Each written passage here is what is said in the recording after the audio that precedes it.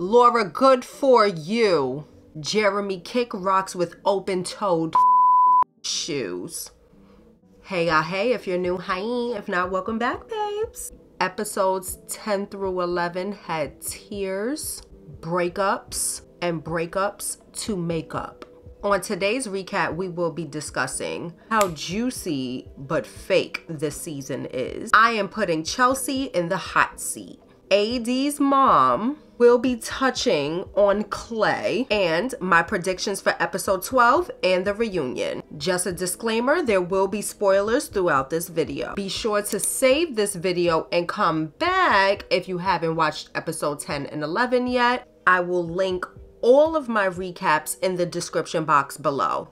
Let's get started. There's no secret that this season was created for drama and not love. Every couple deserves Actor of the Year, especially Jimmy and Jeramey. Laura is the bone carrier of this season. You smile in Chelsea's face and have a great fiance girl chat, and then you go to just giggling like, yeah, he likes you.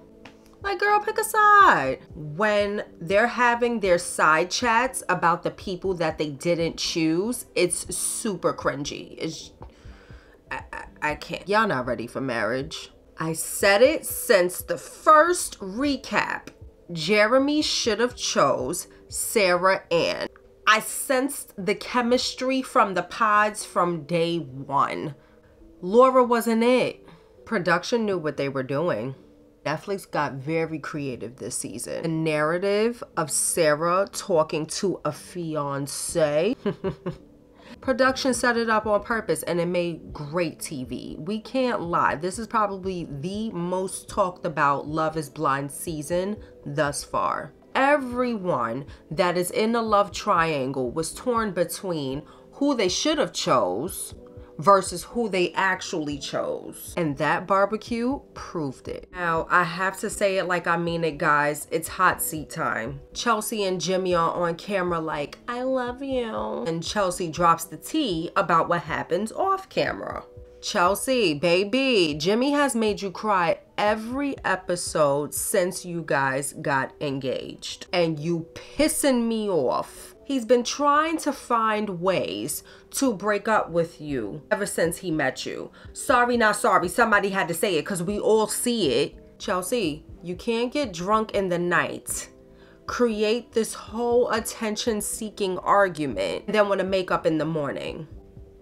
Y'all both are childish liars. There's nothing wrong with Jimmy going out, just like there was nothing wrong with you saying that you looked like Megan Fox. AD's mom. that is a quintessential black mom. Period. Did you see the reaction when they kissed? Bitch. Then she said, I like him. Like, girl, do you? Because mom judged him as soon as he came in. The face never lies, honey. So, I know we have our doubts about Clay, right? How do we feel about him after the chat with the mom? Is he just a smooth talker? Has he changed from the pods to now? I want to know y'all thoughts. If you ask me, I still think he's full of shit and he's not ready. He keeps projecting his parents' issues onto himself, which is essentially going to reflect his marriage. I do, I do believe that he's willing to try to you know, grow and conquer and be a different man than his father was. However, comma, he does not need a publicized relationship that is about to literally turn into a marriage. He needs about a relationship or two. Get his feet wet. Trial and error. You understand? Boy ain't ready. He's ready for therapy. He's ready for self-change, but he's not ready. No. My predictions about episode 12 and the reunion are the couples are dropping like flies. At this point, I don't believe anyone will get married besides Johnny and Amy. Chelsea will cry, guaranteed. Laura and AD will have words with Sarah. If Chelsea and Jimmy do not last, she will end up with Trevor. Clay will find an excuse to run. Sarah and Jeramey will be a couple they will be cuffing by the reunion. It will be a teary eyed, dramatic reunion for sure. If you watched the season thus far, let's chat in the comments. I would love to know what y'all think and I can't wait to see if my predictions are right. Thank you for watching. Don't forget to like, comment, share, and subscribe. Click the notification bell to keep up with me. It will be greatly appreciated. And see you next recap. Bye.